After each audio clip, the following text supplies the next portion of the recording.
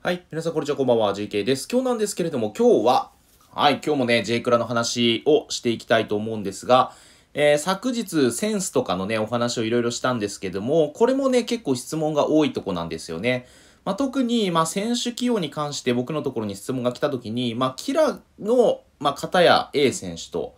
まあ、スキルがいい B 選手と、どっちを使うべきですか、どっちを育てるべきですかという質問とかも結構来たりするので、今日はですね、キラとセンスじゃなくてスキル。キラとスキルについて、はい、お話ししていきたいなと思います。まあ、言ったらキラを優先すべきなのか、スキルを優先すべきなのかっていうところで、まあ、それぞれの特徴を踏まえた上でどう判断するかというのは、まあ、結構やっぱりね、難しい話なんですよね。まあ、これって一概に絶対こうという答えがあるわけでもなくて、まあ、例えばの話、スキル構成、まあ、スキル構成のその度合いとかにもよるし、まあ、例えばそのスキルって良し悪し当然あるんですけど、いい、いいスキル構成もあれば、どちらかといえばいいスキル構成みたいなのもあるわけですよ。で、そういったのによってもちょっと違ったりとかね、しますし、だから結構その線引きが難しい話でもあるんですね。なので、まあ、具体的に突っ込んだ話がめちゃくちゃできるかどうかっていうのはね、題材があった方が正直しやすいんですが、今日はちょっと一般論的な話をちょっと僕の観点から、えーお話できたらなと思います。よろしくお願いします。はい。ということでね、早速このキラとスキルというところのお話をさせていただきたいんですけれども、皆さんじゃあまずはキラについてちょっと考えてみましょうか。うん。キラ結構大事にしっかり保管してますか？ちなみに。まあ、これはね、僕は、どんな選手でもキラ売らないって決めてるんですけど、というのも、まあ、やっぱりキラになるっていう影響がでかい、でかいからですね、このゲームね。はい。ま何が大きいかっていうと、キラになると能力値がね、ガンと上昇するわけなんですけども、まあ、具体的に皆さんどれぐらい上がるかって知ってますか？ちなみに。どれぐらい能力値上がってると思います？キラになると。これ結構ね、キラって能力値上がるけどね、どれぐらい実際上がってるかってのはあんまり意識してない人もいるんじゃないかなというところで、まあ実際ね、そのキラというものがどれぐらいの価値があるのかっていうのをまずね、把握しておく必要があると思いますので、まあ選手名鑑とかでちょっと誰かピックアップして見てみますか、適当に。はい、ということでちょうどマリノスのね、2022年を僕はちょっと見てたので、誰にしましょうか？もう岩田選手とかしてみる？うん。岩田選手の、まあ、月間とかにしてみますか。まあ誰でもいいんですけどね。はい。ということで、まあ、ちょうどキラをね、ちょっと見てたんで、キラページ作ってましたが、まあ、これ通常だとね、6665っていうステータスがありますね。はい。で、岩田選手ディフェンダーなんで結構使用ステータスとしてはディフェン、ディフェンス値とかがね、だいぶ大事になってくる選手だと思うんですが、じゃあ、まあ、これがキラになったらどれぐらい能力値上がるかっていうと、はい、7261まで上がりますね。ということは、まあ大体500ぐらい上がってるってことですね。500足りないぐらい上がってるっていうことは、まあ大体グレード換算すると、まあ100総合値で1ぐらいなんで、まあ大体5ぐらいかな。うん。は上がってます。ただこれ選手によってちょっと個人差あったりするんで、能力値高い選手はよりね、あの高くなりやすいとかあると思うんで、はい。ということで、まあ大体まあどの選手でも4.5から5ぐらいかな。うん。はキラになると能力値が上がってますと。まあ、ただ、それだけではないですよね。プラスアルファみたいなもんですよね。これなんでかっていうと、じゃあセンスとかがね、ついた時にその上昇幅も上がってくるしということで、実質その、まあ、基礎値が上がるっていうことは、そういうセンス面とかにも影響してくる話なので、まあ実質まあそうね、センスのつき方がいい選手に関してはもう6から6とか7ぐらいとか全然平気でソックス入れたりすると変わったりとかするっていうのがこのキラのまあ魅力たるゆえんというか、まあそういうのがなくても5ぐらい上がってるってことね。うん。で、しかもね、これ何がいいかっていうとね、総合的にまあ全体的に能力値が上がるんで結構なんかなんていうかな、強さが増すというかね、うん。これなんか AI 的な話になってくると思うんですけど、結構競り合いとかにも強くなってるイメージとか、際のとこで結構強かったりとか、うん。なんかそういうイメージも若干僕はありますね。はい。ということで、まあ、キラになることによって、これぐらいやっぱりね、メリットがあるということをまずね、えー皆さんに押さえておいてほしくて、先にちょっとキラの話を、はい、させていただきました。だから今回のその比べっていうのは、そのキラによってグレードが5、まあ最低でも5ぐらいは上がってるよと。まあ、ものによってはさっき言った通り6とか7とか上がる可能性も全然あるんですよね、センスの付き方によっては。プと、えースキル面どっちを優先すべきかっていう話ですよね。はい。じゃあ、こっからね、ちょっとスキルの話にちょっとね、振りたいと思うんですが、まあ、スキルっていうのは、僕もね、よくね、あの、選手評価動画とかで言ってますけど、まあ、やっぱり変えることができないんですよね。うん。で、まあ、能力値っていうのは、さっき言った通り、まあ、キラー以外にも、まあ、例えばセンスだったりとか、まあ、クラブリンクだったりとか、まあ、いろんな要素が、まあ、今ってね、でき、あのー、決まっていくので、まあ、言ったら、まあ、そこをな、なんていうかな、キラーじゃなくても、まあ、センスとかでテこ入れすれば、まあ、ある程度数値的には、まあ、見れる数値にはなっていくのかなと。まあ、多少ね、不利がある選手とかでもね。うん。だそれこそ今のデュエリストとかでも、ディフェチは高くないんだけれども、十分ね、センスとか、まあ、もしくはキラとかで、まあ、テこ入れをしていけばいい選手になるよねっていうのは、スキル構成が非常にいい選手がね、まあ、デュエリスト多かったんですよね。トルクモーターとか、まあ、中盤のカリウドとかはじめね、まあ、結構いいスキル持ってた選手が多かったかなと、スティール系含めてね。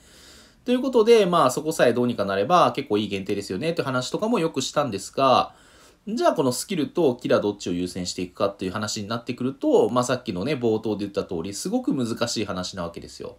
で、これなんですごく難しいかっていうと、これ当然ポジションとかでも変わってくるし、そのさっき言いましたスキルがめちゃくちゃいい選手と、ちょっといい選手、もしくは良くない選手って言った時に、この当然どこに当てはまるかで、まあそのキラとのその兼ね合いとか、を含めて、まあ、そのどっちを優先すべきかっていうのはちょこちょこちょこちょこ変わってくると思うんですよね、個人的には。ということで、まあ、もうちょっと突っ込んだ話ができればなと思うんですけれども、まあ、具体的な選手を使ってっていうところが一番いいんですが、まあ、ここからはちょっと一般論みたいな話で、えー、ちょっと実際に比べていきたいと思うんですが、まあ、ポジション別とかでやっていくんであれば、まあ、分かりやすいのはやっぱゴールキーパーとかですよね。うん。ゴールキーパーってやっぱスキルのシュートセーバーの影響が今すごく大きいんで、ここがやっぱり今、もう第一前提みたいになってるわけですよね。うん。まあ、よっぽどなイレギュラー要素がない限りは、そのキラよりもスキルがちょっとね、あの、比率として大きくなってきて、まあ、シュートセーバーを優先して、まあ、起用するっていうのが、まあ、マストみたいになってきてるっていう中で、例えばゴールキーパーだったら、キラとスキルだったら、まあ、当然スキルのこのシュートセーバーを持ってる選手というのは取ってほしいなっていうところがあるんですけど、じゃあ例えば両方シュートセーバー持ってて、で、シュートセーバーの次の条件って、まあ、例えば制空権、まあ、エアウォール系みたいなね、制空権だったりとか、あと、まあ、愛系の1対1とかね、まあ、よく ABB とかで今持ってきてる選手いますけど、じゃあ、ここがしっかり揃ってるスキルのね、いい選手と、まあ、シュートセーバー持ってて、例えばまあどっちか持ってなくてフィード系とかになってる選手。で、どっちがいいですかってなったら、これは難しい問題で、僕だったら全然このキラーのシュートセーバー取ってもいいかなってなるんですよね。うん。だこれはまあ選手によると思うんですけど、グレードの開きとかにもまたよるしね。というところで、まあ、能力値優それだったら、まあ、どっちもシュートセーバー持ってるんだったらね、キラ優先して、まあね、えー、こっちのちょっとスキルを取ってるけども、それなりのスキルがスキルね、ついてる選手を取ったりとか、まあ、そういう判断もできるわけですよね。ただこれに関しても、まあ、グレードとかが絡んできたりとかするんで、まあ、そこはね、一概に、まあ、本当はこの選手と A 選手と B 選手というね、具体的な選手があれば、まあ、確実なことは言えるんですけれども、で、またね、ディフェンダーとかになったら、まあそう、当然ね、A タックル、A スティールとか、まあ AB タックル、スティールの組み合わせとか、まあそういったのが結構やっぱりね、A の、もしくは A のね、タックル、スティールの組み合わせとかが結構重要視される中で、まあそれは当然そのスキル持ってる選手はスキル面で見たらもう本当にトップクラスにいいですよね。という選手がもしいたとして、で、方や、まあそのキラなんだけれども、まあ A に空中戦持ってて B にハードタックルとか、で B インターセプトとか、まあ C にパスカットとか、まあ、そういう選手も結構いるわけですよ。で、そういう選手を見たときに、じゃあタックルとスティ、まあ、やっぱり守備だったら A タックル欲しいよねってなって、まあ、スキル面を取ることだってあるし、じゃあもしくは A タックル持ってるんだけれども、まあその、まあスティールがない、スティールがないっていうか、まあスティールが例えばじゃあ、まあないはちょっと言い過ぎなんで C スキルとか、でパスカット、B でヘディングとかいう選手がいたときに、でもこのね、まあその選手来てもキラなんですよね。ってなったら、ちょっと印象変わるじゃないですか。でも、まあ本当は、まあ AB のタックルスティール持ってた方がいいんだけども、このキラになることで、まあ能力値がちょっとマシになるんだったらこっち使ってみようかなっていう事案も起こり得るわけですよね。ただまあこれちょっと言いましたけど、本当はこれって、まあ まあその守備に関しては C のパスカットという不安要素はちょっと拭えないので、個人的にはまあそれでもスキル使った方がいいかなと思うんですけど、ということで結構条件的には、まあスキルの方が結構偉い場合が多いわけですよ。うん。で、そのパスカット、例えば今の話とちょっともうちょっと掘り下げるんだったら、A タックルで C パスカット、B でヘディング持ってるっていう選手がいたときに、ま、本当はキラプラス両センスぐらいまで欲しいんですよね。うん。これなんでかっていうと C のパスカットの信頼度上げないといけないからね。だこれが上がってくるんだったら、まあね、型やスキル構成がしっかりとしてる A タックル、B スティールとか、まあそういった選手に勝ち目がちょっと出てくるのかなってなってくるんで、まあそういったね、ポジションの話とかもいろいろありますけど、まあ基本的に、まスキルとキラーどっち優先ですかっていう答えを、今のこの現時点で僕がよく聞かれた時に出すのは、よっぽど仕上がってない限りは僕はスキル優先した方がいいと思うんですね。うん。で、しかも、もしかしたら今後その、今は、例えば、まあ、センスとか、まあ、キラとかじゃない、ね、キラとかがないにしても、まあ、後からついてくる場合とかもあるわけですよね、当然ね。例えば、まあ、J グラって結構ね、あの、キラグロとか、まあ、キラグロじゃなくても普通のグローリー券とかからキラ出たりとかして、その選手ピンポイントで引くことだって、まあ、考えられないわけじゃないですよね。とか、まあ、センス抽選にしても、まあ、その例えばそのレギュラーね、85以上の選手だったとして、それを引いて、フュージョンして、金、スキル強化ついたりとか、筋リフェついたりとか、まあ、もしくは、えー、スパイク入れて、まあ、センスがついたりとか、そういう可能性もあるわけですよね、十分にね。ということは、まあ、スキルはその変えられないんだけど、さっき言った通り、まあ、そのキラだったりとか、まあ、能力値っていうのは補うことができるわけですよ。で、これ逆を返せば、その、まあ、スキル面っていうのが、もはやしっかりしてなくて、そのキラとかセンスで補おうとしても、まあその補ったとしてもどうしてもその何て言うんかなモヤモヤ感はどうしても残ると思うんですよ。例えばさっきの話ディフェンダーの話だとまあ C のパスカットがどうしても不安だよね。まあこれが屈触されることがもしかしたらね能力値めちゃくちゃ上げればあるのかもしれないんですけどただ解消されることはないと思うんですよね。うん、常にじゃあ C パスカット大丈夫かなっていう、まあ、そこに対しての不満は多分残ると思うんですよ。うん、ということで、まあ、僕的には、まあ、この話、まあ、いろんなねポジションの話でしだしたらキリがないんですけど基本的にはスキルとキラどっちを優先すべきかって言われるとよっぽどなことじゃない限り例えばそのキラプラスセンスが仕上がってるとかではない限りは僕はやっぱスキルを押したいなと思いますね。うん。まあ、それが、まあその人にとって、まあそれを、なんていうかな、まあその人にとってというか、例えばいいスキル持ってる選手がいたときに、まあそれを、まあ仕上げるかどうかはその選手の価値、まあなんていうかな、カードの価値とか、まあそういうのに当然ね、あの、なってきたりとか、まあもしくはポジションとかによ 失礼しました。えっと、ポジションとかによってはね、あの、まあ、例えば、な話、まあ、ポジションによって、まあ、CF とか、まあ、縦ラインとか特にそうですけど、補強がしやすいポジションもあったりだとか、まあ、かたやウイングとかね、まあ、サイドバックのディフェッチ高い選手とか、ボランチのディフェッチ高い選手とか、結構条件付きになってくると、まあ、仕入れにくい選手とかもいたりするわけですよね。だからポジションによって育成ラインとかはまあ変わってはきますが、まあ、どうせね、まあ、その、いずれにしても、まあ、その選手を例えば育てるってなったら、まあ、そのキラー狙いに行ったりとかね、まあ、そのチャリマ集会とかだったら特にそうですよね。キラー狙いに行ったりとか、まあ、あとはもしくはいいセンスをね、スパイクつけてでもつけてやろうっていう気持ちにはなると思うんですよね。まあ、そこつくかどうかっていうのは運が絡んでくるんであれですけど、ということで、まあ別に順番はどっちでもいいと思ってて、まあスキルが結構整ってる選手がいた時に、まあすでにいいのを持ってたらそれはそれでいいんですけど、持ってないにしても別にそのつけに行けばいい話なので、まあやっぱりキラーとかいう魅力は当然あるんですが、やっぱりその、なんていうかな、そもそものそのカードの素質っていうのは、まあどうしても特にスキル面はどうしても変わらないので、個人的にはやっぱりアドバイスしたいときは、まあやっぱスキル優先。うん、この話、なんていうかな、そういう2択とかの質問を得たときは、よっぽどな偏りがない限りは、スキル優先の方がいいんじゃないかっていうふうにね、まあ、お答えはさせていただいている次第であります。まあ、さっき言った通り、もっとポジションとかでね、こだわってみると、まあ、でも大体、まあ、守備的な話で言うと、さっきのディフェンダーの話とかが全てだと思うし、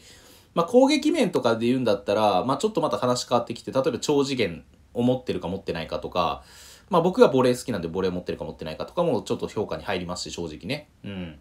まあ、フォワードとかは特にそうなんですけど、まあ、カットイン系の選手でもいいですよ、ウィングのね。まあ、あれって結局何が目的かというと、まあ、キーパーで言ったら守備、守備で、まあ、その点を、失点を防ぐっていうのが仕事じゃないですか。だからまあそこに直接関わってくるそのシュートセーバーの、まあやっぱり持ってるか持ってないかとかすごく大事だし、で、フォワードっていうのは別にそのキーパーと違ってシュートセーバーだけではないと思うんですよね。まあ、シュートスキルを何かを持ってたとして、まあ、それが強いスキル構成だったとして、で結局それで点が取れるかどうかという話じゃないですか。例えばまあ超次元持ってても、もう構えられて止められるような超次元だったら別にそんなに怖くないじゃないですか。とかね。まあ、方や別に、じゃあ例えば、まあ別にシャープシューターとかでも、まあね、極端な話、コントロールドライブとかでも、まあね、ジーコ選手のとかはちょっと特別ですけど、まあああいったなってから昔からあるスキルでも点が取れればいいわけじゃないですか。フォワードって結局。っていうところね、まあボレーでありし、まあいろんなね、手段ありますけど、うん、まあポストプレイヤーとかでもいいけどね。まあ結局はその得点力がどれぐらいあるかっていうところが焦点になってくるので、うん。まあ、スキル構成と言ってもちょっと難しいですけど、だからまあ、フォワード、フォワードとかだったらもっとね、キラの価値とか、まあ、特にやっぱりその、なんていうかな、まあ、さっき言った通り、超次元持ってるだけでもダメだっていうところがあるので、もしくはその、ね、まあ、スキル優先にしたところで点が取れないなって判断したら、まあ、キラの方に振り返っていくとかいうのもありだし、というところが、まあ、いろいろそのポジションによって役割とかがね、違ったりするし、まあ、役割も当然ね、変わってくるので、まあさ、ね、よく言うのは、ウィングのフラスル系の選手が、まあ、例えばキラでガチガチに、ね、能力値が高い方がいいのか、スキルが、ね、優先した方がいいのかという話とかも、結局、ね、例えばフラスル系の選手とかだと、やっぱりフラスルとレインボーアーチって全然違うし、まあ、レインボーアーチとファンタスティックアーチの質もちょっと違うと思うし、まあ、それこそね、もうちょっと遡るんだったら 22TS の久保くんのやっぱり、ね、あの TSS とかよく見ますけど、あれのやっぱり、ね、フラスルのやっぱり精度とか全然やっぱりね、普通のあのフラスルのやつとかと、まあ全然違いますしね。うん。だからまあウイングのそういうフラスル系の選手はやっぱ圧倒的にスキル優先ですよねとか、まあ、やっぱりポジションによってちょこちょこね変わってくるところはあるんですが、まあ、そこは直接点に絡むところなのか、まあ、それともアシスト系なのかとかによって変わってきたりとかもするので、まあ、そういった話をするともっとね長い動画になっちゃうんで、まあ、ちょっと今日はね省きますけど、まあ、ポジションによってね、そのスキル面とか能力値面どっちが大事かっていうところもあるし、まあ、スキルだけでダメなポジションもあるしね、当然ね。まあ、そういうところも含めて、そのいいバランスというのを自分で見つけて、まあ、ただスキル構成というのはどうしても変えられないので、まあ、スキルがいいというのは基礎に置いといて、まあ、その選手をどれぐらい、まあ、キラとかセンスとかで仕上げれるかっていうところがこのゲームの勝負どころなので、まあ、うん。まあ、スキルとキラどっちが大事かって言われたら、一応スキルですね、やっぱね。基本的にスキルが大事なポジションの方が多いと思います。はい。ただ、まあ、キラもおろそかにはできないというところで、まあ、しっかりと、まあ、やっぱり求めていく必要はどうしてもあるのかなというところが、まあ、今回の結論かなと、話のね、はい、と思います。まあ、より良い選手をね、まあ、キラとかセンスとかでね、強化して使うっていうのが、まあ、このゲームのやっぱり勝ち筋となってきますので、まあ、当然ね、AI の展開とかもありますけど、まあ、それ以上にやっぱりカードの強さというのはね、結構大事になってくるので、皆さんも、まあ、結構選手起用迷った時っていうのは、まあ、欲張っていいと思うんですよね、僕は考え的に。例えば、そのスキルがいい選手、キラーを持ってる選手というのがいたときに、こっちはでも今スキルな、キラーないからなとか、センスがついてないからなとかいう考え方っていうよりも、どっちかというとそれをつけに行くんだぐらいの感じで育成しちゃっても僕はいいと思いますし、まあそれが、まあなんていうかな、中途半端にならなければ、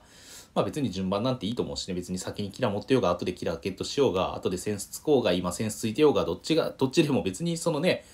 その時間軸で見た時にね、その時についてればいいと思うんで、まあそこはね、えー、一つね、なんかどっちを起用するかっていうところの、まあ、考える材料とかにすると、まあ、結構チーム作りうまくいくんじゃないかなと、個人的には思いましたので、今日動画でお伝えさせていただきました。まあ、やっぱりね、こういうところはやっぱ能力値を取るかスキルを取るかっていうのはちょっとね、悩みどこなんですよね、このゲームのね。難しいライン引きがちょっとまあ、それはね、人それぞれでちょっと変わってくると思うんで、まあやっていく中でね、どこのラインかなっていうのは掴んでいくしかないとは思うんですけど、まあ、例えばね、ディフェッチだったら、まあ、これぐらいあれば、まあ、ある程度戦えるのかなとか、それはやっぱり対人の間とかで、いろんな人とね、対峙して、まあ、例えばゴールキーパー試したいんだったら相手のね、まあ、フォワードの選手とかで、どういった選手のシュートは止めれて、どういった選手のシュートは貫かれたのかとか、そういうのを、まあ、やっぱり、ね、まあ、覚えておいたりとか、まあ、いろいろ試してみたりとかする必要があると思うし、まあ、逆にフォワードで、まあね、いい CF 手に入れたなと思ったら、どのキーパーには通用して、どのキーパーには通用しないのかっていうところの、まあ、線引きというのは自分で見つけるべきだしというところで、まあ、それはどうしてもね、あのー、試合を重ねないといけないので、まあ、いろんな人とね、ぜひね、試合をして、まあ、皆さんもね、えー、掴んでほしいかなと思います。まあその試合と言ってはなんですが、僕結構最近またフレマイクやってるので、昨日もやりまして、今日も多分配信、まあちょうどこの動画が、ちょうどね、えー、土曜日に上がると思うんですけど、土曜日もね、2時間ぐらい、まあ午後8時ぐらいかな、から配信して、まあやろうと思ってますんで、まあそこね、コメント欄もかあの開放して、別にあの、僕とではなくて、まあ、そこに来た人同士で全然試合とかしてもね、構いませんので、まあ、そういったところでね、まあ、結構顔出していただけると、まあ、いろんな人とね、試合できる機会になると思うんでね、まあ、ぜひね、配信の方もね、お待ちしております。ということで、えー、今日はね、キラと、えー、スキル、まあ、どっちを優先すべきかという話をさせていただきました。ということで、えー、今回のね、動画はここにて終了とさせていただきます。ご視聴ありがとうございました。これで失礼します。バイバイ。